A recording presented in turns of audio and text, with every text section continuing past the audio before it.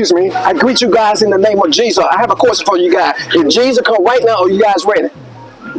Uh, probably not. Are you serious? Yeah, serious. guess what? If we're not ready to face Jesus, guess what? On the day of judgment, our soul will go to hell. uh-huh. Yeah. Are you guys want to say a prayer? Trying to convert your life over to Jesus? So do you love Alright. Jesus? I do. Yeah, You do? Do you have a relationship with him? I do. Amen. Praise God. So you in church? Amen. Praise God. So this your husband? Yes. Oh, that is good though. So you should be like spiritual support her, son. Yeah. That's like uh yo though. Yeah. Yeah. Yeah. Yeah, you know, y'all have to like be in the word I'm together. working. That's good though.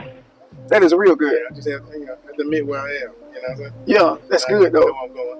Yeah, but just keep it up though. Just stay encouraged though. Get in the word. Cause we all gonna fall short of the glory of God. When we fall, we just gotta get up. Mm-hmm. Yes, sir. Uh-huh. Yeah, stick with your wife. I know you're gonna stick with her, but you know, get in that word so you can spirit to feed her. Cause you supposed to be the head. Right. I got you. Yeah. All right, you guys have a good one. All right. All right, God bless you guys. Bless you. All right.